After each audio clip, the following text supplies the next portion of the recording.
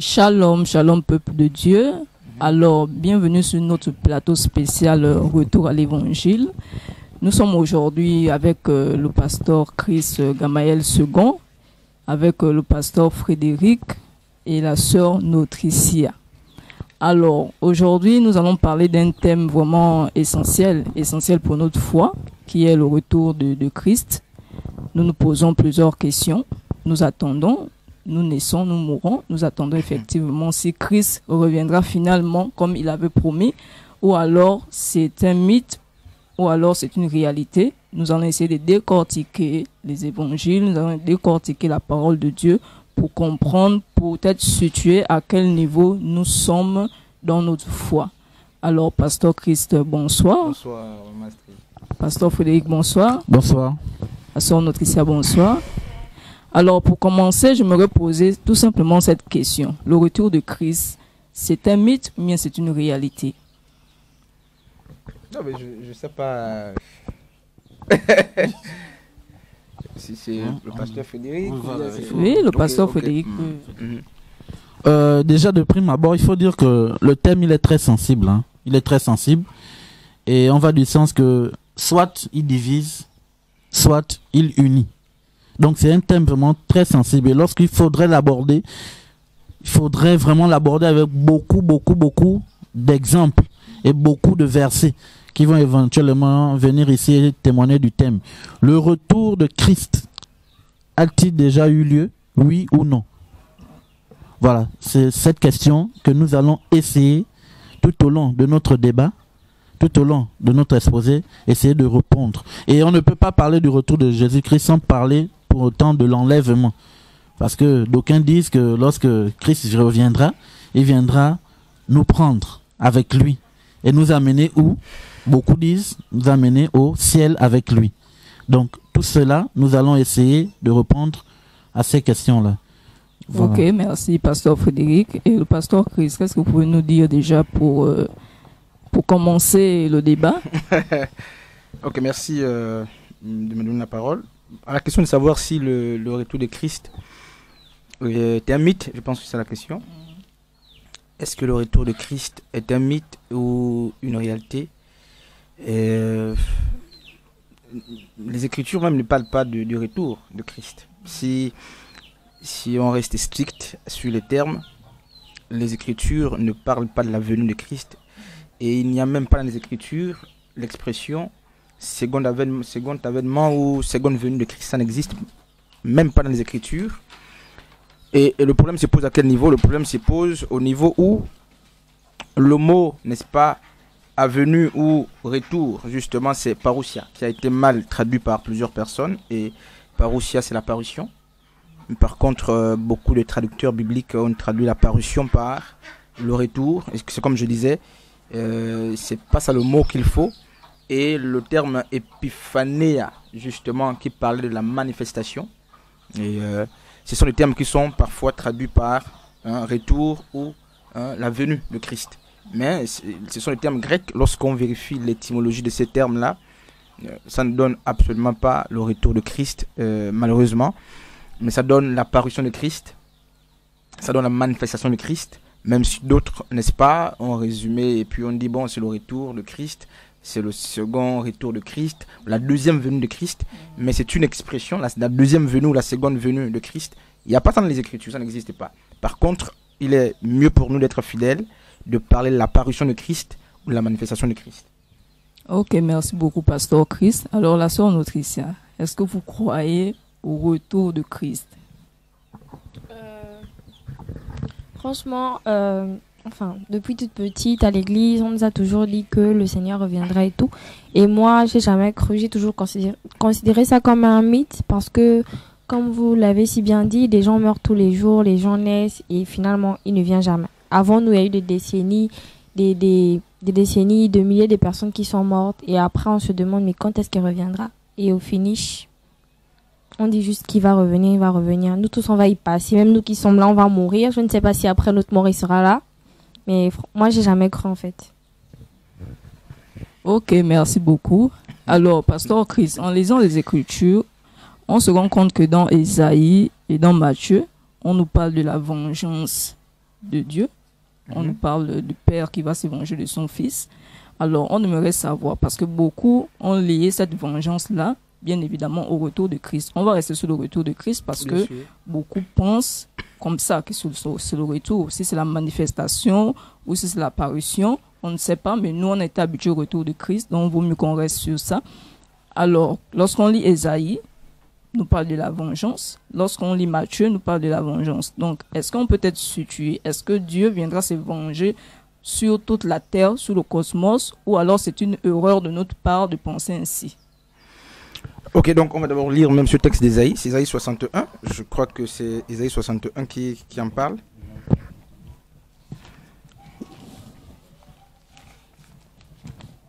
Ésaïe 61. À partir du verset premier, n'est-ce pas, c'est ce texte qui a été pris pour la première fois lorsque Yeshua, n'est-ce pas, va rentrer dans le temple, lorsqu'il va prêcher pour la première fois, c'est ce texte, n'est-ce pas, d'Ésaïe qu'il va lire dans Luc euh, chapitre 4 à partir du verset 18. Alors voici ce que le prophète a dit. L'esprit euh, du Seigneur, l'Éternel est sur moi, car l'Éternel m'a oint pour porter, porter de bonnes nouvelles aux malheureux. Il m'a envoyé pour guérir ceux qui ont le cœur brisé, pour proclamer aux captifs la liberté et aux prisonniers la délivrance, pour publier une année de grâce de l'Éternel et un jour de vengeance de notre Dieu, pour consoler tous les affligés, pour accorder aux affligés des sillons, pour leur donner, n'est-ce pas, un, dia- un diadème au milieu de la cendre. Bon, euh, une euh, huile de joie au lieu du deuil, un vêtement de louange au lieu, n'est-ce pas, d'un esprit abattu, afin qu'on les appelle les térimètres de la justice, une plantation d'éternel pour servir à sa gloire. Donc c'est le texte justement qui a été repris par Yeshua dans Luc chapitre 4, à partir du verset 18. Et comme vous le savez bel et bien, hommes et femmes de Dieu, lorsqu'on va dans Luc chapitre 4, euh, à partir du verset euh, 18, le Messie a repris ce texte, mais vous allez remarquer avec moi que le Messie n'a fait que lire la première partie de la prophétie d'Ésaïe 61 et il s'est arrêté donc à la proclamation, n'est-ce pas, de l'année de grâce. Mais le jour de vengeance n'a pas été touché, ça n'avait jamais été touché au temps du Messie. Et lorsqu'on lit justement fidèlement euh, Luc 4, les Écritures disent que lorsqu'il lisait, le, Mess- le Messie lisait jusque-là, ça n'avait pas attiré l'attention des gens. Les gens l'écoutaient attentivement. Mais il va dire à la fin, n'est-ce pas, pas à la fin de la, lecture de toute la prophétie, parce que déjà il n'a même pas lu toute la prophétie. Lorsqu'il va terminer la première partie de la prophétie, il dira, aujourd'hui même, cette parole l'écriture vient de s'accomplir. Et c'est là qu'il va être lapidé. Pourquoi? Parce que les, juifs, les pharisiens, les sadducéens, tous ceux qui étaient là se sont dit, mais tiens, cet homme se proclame euh, euh, comme étant le Messie qui devait venir. En fait, il disait justement que cette prophétie devait s'accomplir par lui. Et donc, Yeshua était celui qui devait accomplir non seulement la première partie de la prophétie, mais également la seconde partie de la prophétie. Mais le problème est que les Écritures nous font comprendre qu'il venait pour régner, n'est-ce pas, sur le trône de David, son père. Malheureusement, il n'a pas régné sur le trône de David. Parce que les gens aussi ont pris Ésaïe 9, 5 pour dire un fils nous est né, un sauveur nous est donné, et euh, n'est-ce pas, un enfant nous est donné, un fils nous est né, on l'appellera Emmanuel, du nom d'Emmanuel. Ce texte n'est même pas attribué à Jésus parce que quand vous lisez bien la suite de ce texte d'Ésaïe 9, 5, vous allez vous rendre compte que la Bible dit clairement que le fils promis, donc qui était le fils signe, il devait élargir ou faire accroître, n'est-ce pas, la tribu de Judas et il devait régner sur le trône de David. Malheureusement, Jésus n'a jamais fait cette, ces choses-là. Et le mot traduit justement par Père éternel, c'est prince ou père de conquête. Là, nous ne sommes pas sur ce texte. Alors, donc, la deuxième partie de la prophétie d'Ésaïe 61, reprise par Yeshua dans Luc 4, 18, parlait de quoi? De la proclamation du jour de vengeance. Mais la, deuxième partie de la prophétie, il faut le rappeler, hommes et femmes de Dieu, n'était que conditionnelle. Si Yeshua avait été accepté, n'est-ce pas? Et s'il occupait le trône de David, il n'aurait jamais eu, n'est-ce pas, le jour des vengeances. Donc le jour des vengeances, donc la deuxième partie de la prophétie d'Ésaïe 61, est justement la conséquence du refus de l'année de grâce. Donc le Messie a été rejeté, il a été refoulé. Et on va même aller plus loin lorsqu'on aura, n'est-ce pas, un autre tour euh, de table. Lorsqu'on lit la parabole de Matthieu 22, on se rend compte que justement, mais parce que le fils qui a été envoyé par le maître la vigne a été tué, donc refoulé, c'est là justement que le maître va détruire. Donc, d'après les Écritures, ben, l'apparition, je préfère, qu'on- comme le disait maman Frédéric, il Ouais. est mieux qu'on parle avec les termes justement Avec employés. termes, ouais. Le retour de Christ dont on parle ben, est clairement situé ici. Il y avait la première partie, la première partie, donc la venue de Christ, qui consistait à annoncer l'année de, de grâce. Et si l'année de grâce était acceptée, la deuxième partie, la prophétie ne devait pas avoir lieu. Donc le retour de Christ, dont par les Écritures, avait lieu, n'est-ce pas plutôt, était attaché à quoi? À la, la proclamation de l'année de vengeance. Même si les gens pensent que oh, c'était pour monter au ciel, on verra avec la suite de temps que le retour de Christ, pourquoi Christ devait revenir, c'est la question qu'il faut se poser. Est-ce que c'est pour, c'était pour prendre les gens et les amener au ciel? Non, loin de là, il n'y a aucune écriture qui le dit. Christ devait revenir pour se venger. Et Matthieu 23 est clair, je pense qu'on va revenir. Ok, alors le pasteur Frédéric, Mhm. est-ce que vous pouvez nous expliquer cela? Parce qu'on a plusieurs textes bibliques, on disait Isaïe, Luc, Matthieu. Mhm. On voit bien que Christ doit se venger. Est-ce que vous pouvez nous situer On parle de quelle vengeance? C'est la vengeance du monde entier ou c'est la vengeance euh, qui est précise pour un peuple? Oui, il faut, il faut, il faut, dire que cette vengeance-là ne concerne pas tout le monde, elle concerne uniquement le peuple juif. Il y a des prophètes, il vient se venger sur le sang des prophètes qui ont coulé. Dieu a envoyé des prophètes à chaque fois pour sauver le peuple euh, juif, mais malheureusement, ils ont toujours été durs. C'est dans ce sens-là que l'année de vengeance sera une année où le Seigneur viendra uniquement, pas pour tout le monde, sera pour le peuple juif. Il faudrait vraiment qu'on regarde ce- ces choses. Voilà, c'est ça uniquement pour le peuple juif. Uniquement. Alors moi Voilà. j'ai envie que vous expliquiez un peu au peuple. Oui. Euh, là on dit que la vengeance c'était pour le peuple juif. Or maintenant nous on dit que nous tous nous avons la grâce. Du coup Christ parle d'une année de grâce, il parle d'une année de un jour de vengeance. Alors pourquoi nous on choisit la grâce et on refuse la vengeance? Est-ce qu'il y a des textes bibliques qui prouvent qui, qui peut faire comprendre aux gens qu'effectivement la vengeance dont parlait Christ ici vraiment était précise pour le peuple juif? Euh, Euh, je vais laisser Ok, la ok. à- Non, mais homme, femme de Dieu, il y a bel et- on va lire les Écritures. Il y a bel et bien, n'est-ce pas, des textes bibliques qui prouvent que la vengeance, ou parce que le jour de vengeance, le jour de vengeance, c'est quoi? Quand on dit Dieu a créé le, le- les cieux et la terre en six jours, il faut, il faut qu'on le rappelle, parce que les gens pensent que quand on dit jour de vengeance, c'est 24 heures. Non, c'est une période de vengeance, n'est-ce pas? Et donc, donc cette période a été prophétisée. On va d'abord lire, n'est-ce pas, Matthieu chapitre 23.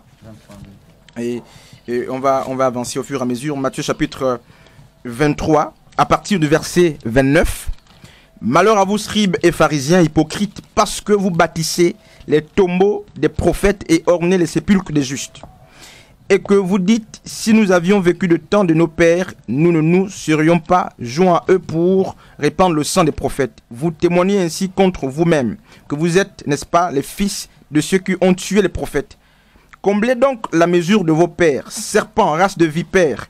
Comment échapperez-vous au châtiment de la géhenne C'est pourquoi voici, je vous envoie les prophètes, des sages et les scribes, vous tuerez et crucifierez les uns, vous battrez de verge les autres dans vos synagogues et vous les, les persécuterez de ville en ville. Au verset 35, il est dit, afin que retombe sur tout, n'est-ce pas, sur vous, tout le sang innocent répandu depuis, n'est-ce pas, sur la terre, depuis le sang d'Abel, le juste, jusqu'au sang de Zacharie, fils de Barachi, que vous avez tué entre le temple et l'autel.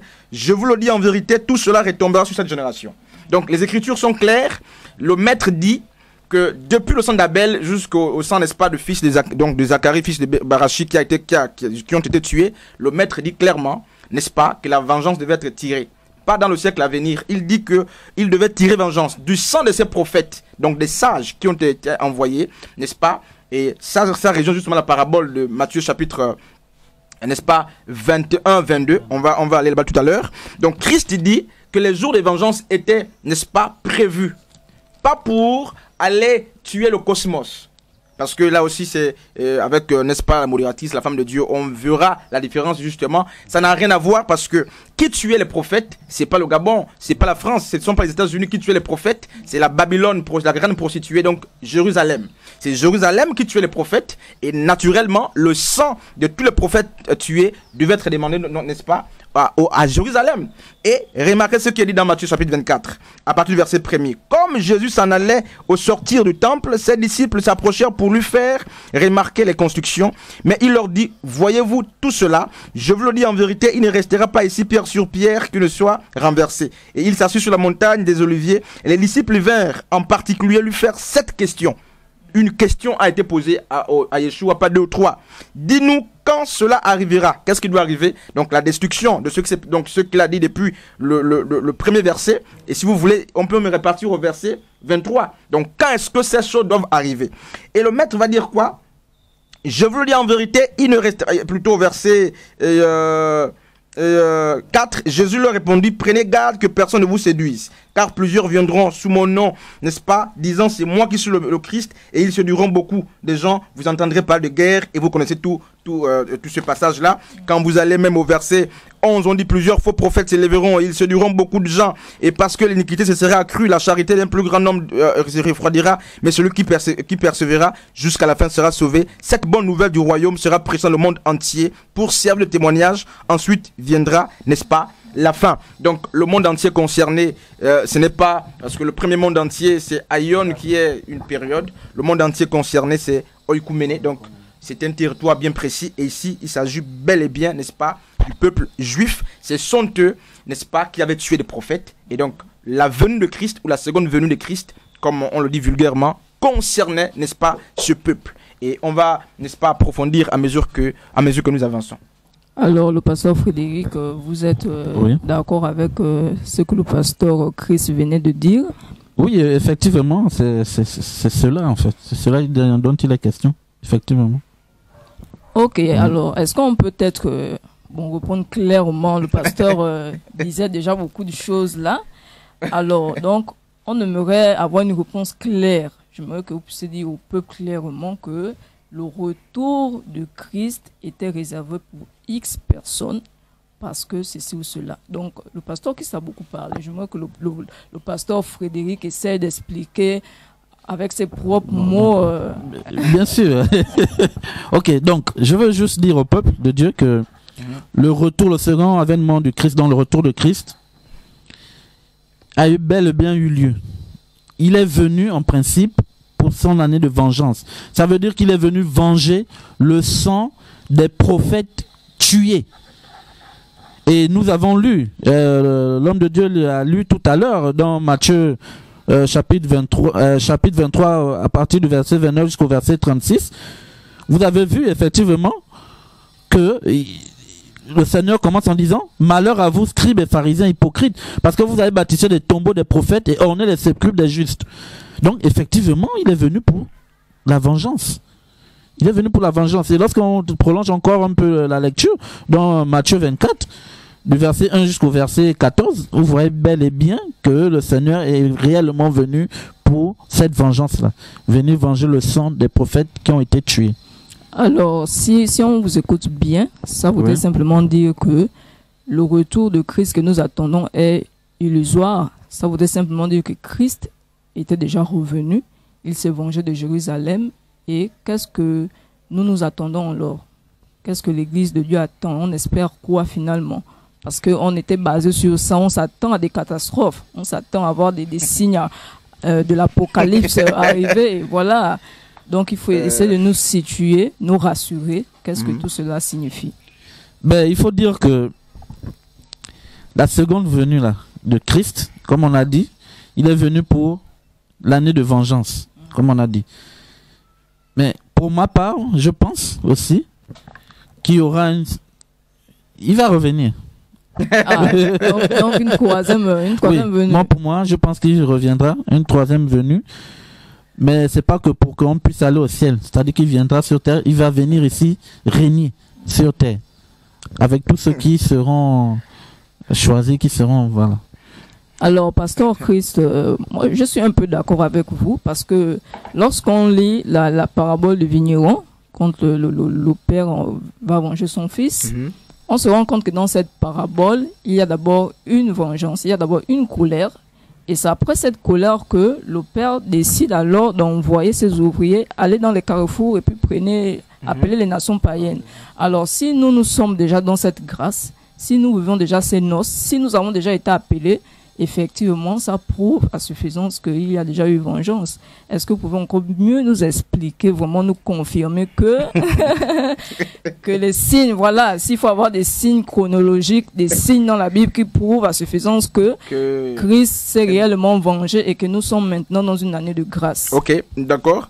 Et euh, même avant de répondre à cette éventuelle question, et euh, on va justement prendre quelques textes prouver, pour prouver que mm, bel et bien euh, ceux qui attendent aujourd'hui euh, un retour de Christ après, n'est-ce pas, l'an 70, parce que l'an 70 constitue bel et bien l'année, n'est-ce pas, qui a accompli pratiquement toutes les prophéties en relation avec la destruction de Jérusalem.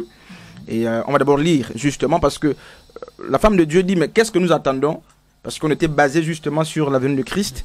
Mais c'est illusoire déjà parce que la promesse de la venue de Christ ne concernait pas les nations tout entières, malheureusement. Jésus, Yeshua, a fait la promesse à ses contemporains. On va lire. Matthieu chapitre 10 à partir du verset 23, c'est un texte qu'on connaît tous. Quand vous, n'est-ce pas, quand on vous persécutera dans une ville, fuyez dans une autre. Je vous le dis en vérité, vous n'aurez pas achevé de parcourir les villes d'Israël que le Fils de l'homme sera venu. Yeshua est en train de parler à ses apôtres. Il ne parlait pas parce que les gens prennent le vous et ils ont même dit que Jérusalem, plutôt Israël en question, c'est désormais le monde entier. Et ça, c'est de l'ignorance, ça, c'est vraiment l'abus. Donc, le maître a donc ici, n'est-ce pas, décrit ou montré les bornes chronologiques. Il dit, vous n'aurez pas fini de parcourir les villes d'Israël. Parce que c'est vers Israël que les apôtres, n'est-ce pas, de l'agneau ont été envoyés. Il dit, vous n'aurez pas fini de parcourir que le Fils de l'homme sera du retour. Et donc la promesse est faite à qui? Aux apôtres de l'agneau. Et allons-y donc dans Matthieu, un autre texte, n'est-ce pas? Matthieu chapitre euh, euh, euh, 16, je crois. Matthieu chapitre 16. Au verset 28, c'est Yeshua qui continue de faire la même promesse. Il dit, je vous le dis en vérité, quelques-uns de ceux qui sont ici ne mourront point, qu'ils n'aient vu le Fils de l'homme venir, n'est-ce pas, dans son règne. Donc, euh, il fait la même promesse à qui? À ses apôtres. Et euh, cette, euh, cette promesse, justement, c'est la même promesse qu'il a faite dans Matthieu chapitre 10 à partir du verset 23. Il dit quelques-uns de ceux qui sont ici. Donc, il s'adresse justement à ceux qui l'écoutaient. Il dit quelques-uns de ceux qui sont ici ne mourront pas sans avoir vu, n'est-ce pas, l'apparition ou le retour, comme on lit, comme le dit, n'est-ce pas, le retour de Christ. Alors, la question qu'il faut se poser est de savoir si, n'est-ce pas, ceux qui étaient bénéficiaires de la promesse du retour de Christ continuent d'exister. C'est la question qu'il faut se poser. Est-ce qu'aujourd'hui, les apôtres continuent de parcourir Israël? Est-ce qu'il y a encore aujourd'hui un seul apôtre vivant? Non. Donc, les hypothèses se posent. Soit la Bible n'est pas digne de confiance, soit il y, a un- il y a- un problème, soit Yeshua est un faux prophète qui a menti, qui aurait donné une prophétie qui ne s'est pas accomplie, soit ce sont les théologiens, donc les pasteurs, les hommes de Dieu qui ont égaré le peuple. Parce que Christ est clair, il fait la promesse à ses apôtres en leur disant Quelques-uns d'entre vous verront mon retour. Et il a même fait la promesse dans Apocalypse, il a dit Même ceux qui l'ont percé devaient le voir revenir. Il a fait la promesse aux, membres du Sanhédrin et en particulier, n'est-ce pas, à Caïphe, en disant Tu verras mon retour. Alors que ceux qui attendent Jésus-Christ aujourd'hui ou Yeshua nous disent si ceux qui l'ont percé doivent d'abord ressusciter pour voir Yeshua, ensuite mourir, qu'ils nous disent comment est-ce que la promesse a été faite aux douze. Et la promesse disait que quelques-uns devaient voir Jésus. Donc son retour avant de mourir, tous sont morts.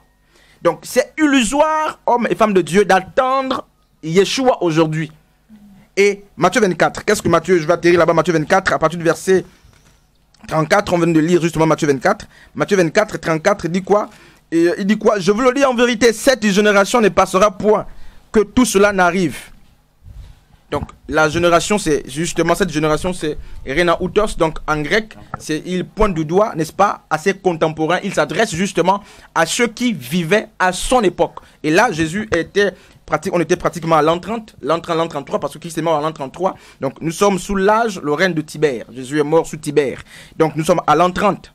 n'est-ce pas? Et il dit, cette génération dans laquelle nous sommes, dans laquelle je suis, dans laquelle vous êtes, ne passera pas. Or, les juifs les hébreux qui l'écoutaient, pour eux, ils savent qu'une génération, c'est 40 ans, hommes et femmes de Dieu. Donc, ils, connaissaient le langage de Christ. Il dit, cette génération ne va pas passer, je serai de retour. Et naturellement, Yeshua avait raison, parce que eh, il ne pouvait que faire, il ne pouvait qu'intervenir et revenir dans sa génération. Pourquoi? Parce que la promesse a été faite aux gens comme Caïphe qui vivaient dans sa génération. Donc, aujourd'hui, nous sommes pratiquement à, à, à- à 2000 ans que la promesse a été faite. Et tous, tous ceux qui ont bénéficié de la promesse sont morts, bel et bien morts. Effectivement. Et quand même, on nous dit qu'il faut attendre Yeshua. C'est un mensonge, un grand mensonge planétaire, et les gens ont mal compris les Écritures. Donc, soit on nous dit que les apôtres continuent de vivre aujourd'hui, qui n'ont pas achevé de parcourir les villes d'Israël, ou soit vous nous dites justement que Christ a menti, ou Paul, ou plutôt Matthieu qui a écrit, et les Marc, Luc, tous ceux qui ont écrit, ont mal écrit, et que la Bible ne- n'est pas digne de confiance, malheureusement. Donc, la promesse est faite à une catégorie de per- personnes qui sont mortes. Donc, ceux qui devaient voir, pour terminer, Yeshua, c'est ceux de sa génération, ceux qui étaient dans sa génération. Et une génération, c'est 40 ans. C'est 40 ans, et 40 ans sont passés aujourd'hui. Ok, merci beaucoup, Pasteur Chris. Alors, euh, Pasteur Frédéric, est-ce que vous pouvez ajouter quelque chose encore pour le peuple? Bon, euh, juste dire que, comme disait l'homme de Dieu, 40 ans, c'était la, en fait euh, la génération selon les, les Grecs, voilà, les Juifs plutôt. Une génération chez eux, c'est 40 ans. Et aujourd'hui, on est près de 2000 ans après. Bon, qu'est-ce qu'on doit encore attendre en fait? Est-ce que tout ce que le Seigneur euh, Jésus disait dans Matthieu et dans euh, d'autres livres aussi, Matthieu, Luc et autres, est-ce que nous pouvons dire que c'est vrai ou c'est pas vrai? Hein? Puisque ça s'est accompli. Pour moi, pour ma part, ça s'est accompli.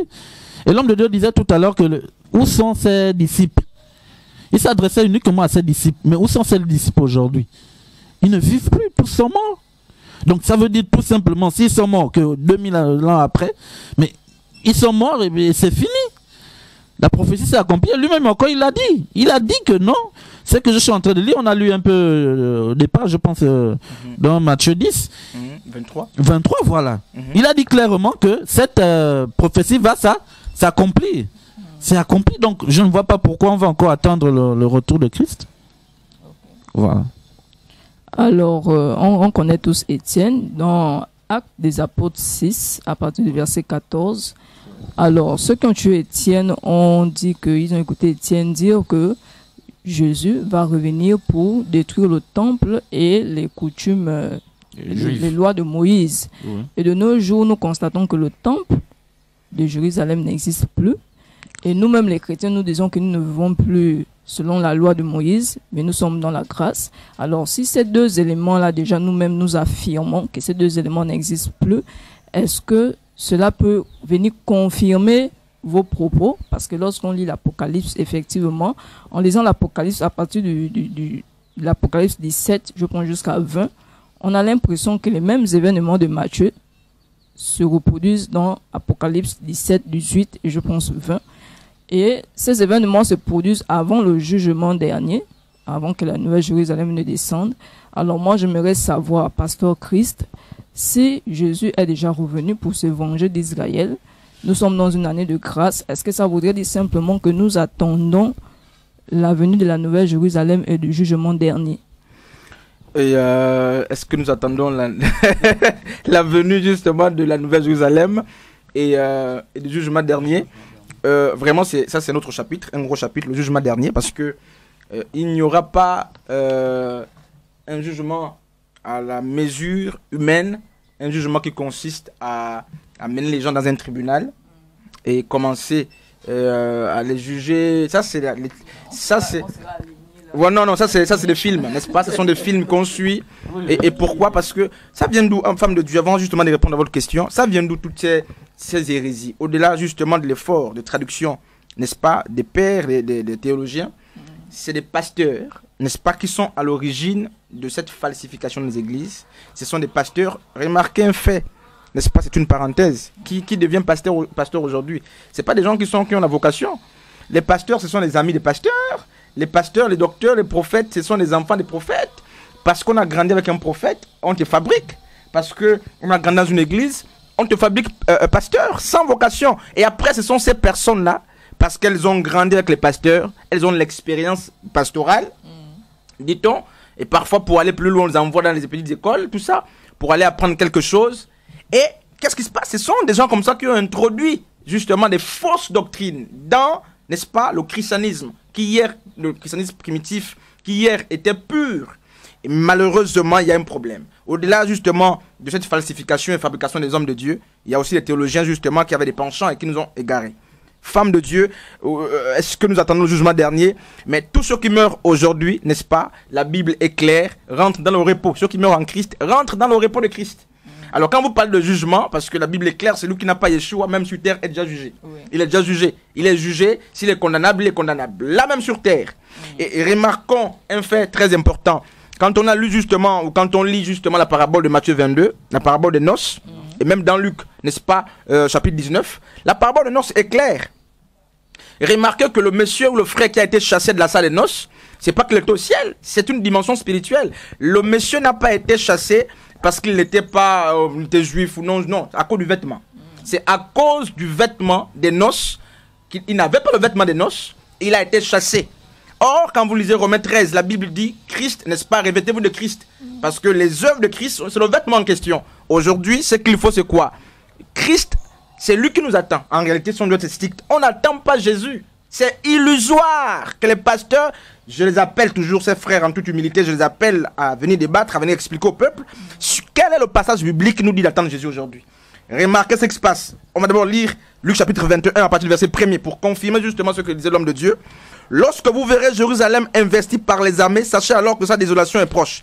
Alors que ceux qui seront en Judée fuient dans les montagnes, que ceux qui seront au milieu de Jérusalem en sortent, et que ceux qui seront dans les champs n'entrent pas à la ville, car ce seront des jours de vengeance pour l'accomplissement de tout ce qui était écrit. Et dans Luc 17, on nous fait comprendre que il fallait fuir hors de Jérusalem lorsque le maître devait revenir, lorsque Christ devait revenir. Et plus l'on dit malheur à la femme enceinte. Malheur à vous si ce, priez pour que ce jour ne soit pas le jour du sabbat. Pourquoi? Parce que le jour du sabbat, selon la loi de Moïse, mais on ne pouvait pas faire plus de 500 coudées. C'était un péché. On ne pouvait pas effectuer une distance, une, une longue distance le jour du sabbat, samedi pas le dimanche, c'était un péché. Et c'est pourquoi il dit malheur à vous si ça arrive le dimanche, plutôt le samedi, donc le jour du sabbat. Malheur aux femmes enceintes. Donc le jour du Seigneur, hommes et femmes de Dieu ne promettaient pas. Hein, parce que c'est ce qu'on a mis dans nos têtes. Parce qu'aujourd'hui, les gens ont du mal à accepter parce qu'on leur a dit si Christ vient, vous montez au ciel. Ça, c'est un mensonge. Effectivement. Un mensonge. Auquel quel ciel on va monter au ciel pour faire quoi lorsqu'on sait que le psaume 29 n'est-ce pas 39 est clair, lorsqu'on sait qu'Apocalypse 5 est clair, Matthieu 5, 5 est clair, nous hériterons la terre, le juste héritera la terre. Donc un tour au ciel et après on revient, ça c'est une chimère. Et donc la désolation ou le retour de Christ était attaché à la destruction. C'est Luc, euh, n'est-ce pas, Acte 7 qui le dit, Étienne l'a dit. Justement, a, il a dit que Christ a dit qu'il devait revenir détruire et la ville et le temple, non pas détruire la ville et le temple, détruire et le temple et les coutumes de Moïse. Même les frères qui sont en train de pratiquer Moïse, manger les dîmes des gens, tout ça, maudits, ils sont maudits par la Bible. C'est pas moi qui le dis, on peut vérifier les Écritures. Paul dira, n'est-ce pas, dans Galate 3, que tous ceux qui s'attachent à la loi sont maudits. Ils rejettent la grâce. Vous mangez les dîmes, vous appelez offrande de sacrifice, c'est des malédictions. Ces pasteurs sont maudits par Dieu lui-même n'est-ce pas? Donc les Écritures les maudit pourquoi? Parce qu'ils rejettent la grâce. Et remarquez, femme de Dieu, sans monopoliser la parole, il y a trois grands temps qu'on n'a pas su euh, maîtriser, connaître. Et beaucoup s'échappent à plusieurs hommes de Dieu. Il y a le temps de la grâce, plutôt le temps de la loi. Donc la loi a régné avec Moïse. Depuis avant Moïse, la loi, mais la, la promulgation venant avec Moïse, le temps de la loi a existé. Christ est venu il n'a pas aboli la loi. Christ est venu. Qu'est-ce qui se passe? Il a inauguré la loi, même par sa mort. Et on pourra vérifier les Écritures. Et les gens pensent que la résurrection de Christ avait aboli la loi, malheureusement. Et Galate dira qu'il est né sous la loi pour nous libérer de la loi. C'est ce que Paul nous a fait comprendre. Et après le temps de la grâce, avant, plutôt après le temps de la loi, avant que le temps de la grâce ne soit instauré, il y a ce qu'on appelle le temps de la réforme ou le temps, n'est-ce pas, de la, la transition. Donc le temps transitoire. Pour que la grâce, plutôt pour que la loi fasse place n'est-ce pas la grâce? C'est pourquoi l'auteur à l'épître des Hébreux a dit, n'est-ce pas, la loi était inutile. Et qu'elle était prête à disparaître. Il n'a pas dit qu'elle avait disparu. Il dit que la loi était prête à disparaître. Pourquoi? Mais parce que justement, de l'arrivée de Christ à sa mort, même à sa montée, nous étions dans la phase transitoire. Et les éléments qui devaient mettre fin à la loi et au judaïsme, c'est la destruction de la ville. Comme dit Étienne dans Acte chapitre 7, la destruction de la ville et des coutumes de Moïse. Parce que la ville de Jérusalem et le temple de Jérusalem étaient l'épicentre, n'est-ce pas, du judaïsme. Donc il fallait détruire ces choses pour que justement la grâce soit inaugurée. Donc l'inauguration s'est faite après 70. C'est là que la grâce est rentrée bel et bien, hommes et femmes de Dieu, en vigueur. Donc attendre Jésus aujourd'hui, c'est illusoire. En toute humilité, j'ai lancé cet appel à plusieurs hommes de Dieu. Ils ne vont pas voir ce passage biblique parce que même Matthieu 10, 23, il n'arrive pas à l'expliquer. Quand vous prenez, vous prenez Matthieu chapitre 16, à partir du verset 28, ils sont bloqués là encore. Quand vous prenez Matthieu 24, verset 34, ils sont bloqués c'est qu'il y a une erreur qui a glissé et le manque d'objectivité fait que les hommes de Dieu restent campés. Puisque, comme disait l'homme de Dieu, ils ont reçu le droit, n'est-ce pas, le, le, le, le, titre foncier dans les, dans les églises. Donc, femme de Dieu, Jésus, la promesse du retour de Christ est effective. Elle s'est accomplie. Et une autre chose qui met les gens en erreur, c'est quoi? C'est, n'est-ce pas, les prophéties cosmiques ou hyperboliques d'Apocalypse. C'est l'illusion. C'est l'illusion.